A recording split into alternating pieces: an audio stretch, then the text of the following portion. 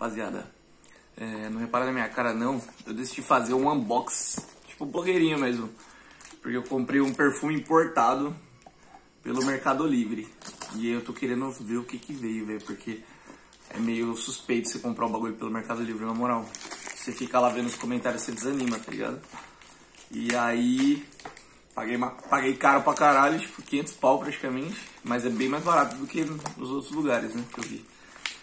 E, ó, tô abrindo aqui pra vocês verem e ter a mesma reação que eu, porque... Porque, mano, se der certo pra mim, eu indico pra vocês aí, porque, mano, realmente, pelos comentários, você dá uma desanimada forte. Calma aí. Ao mesmo tempo que tem bastante avaliação positiva, tem muita negativa, né? Ah, velho.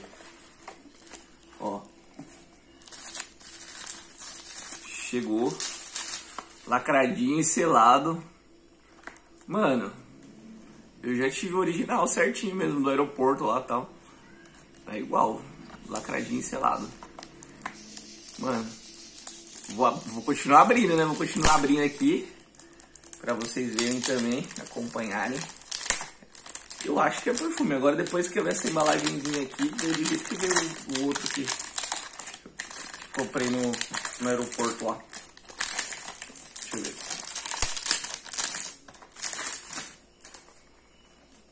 Eita, não reparei bagunça nem minha cara. Eu não penteio. Se eu não, se eu não tomo banho, meu cabelo não, não dá pra pentear, entendeu? Ai, meu Deus.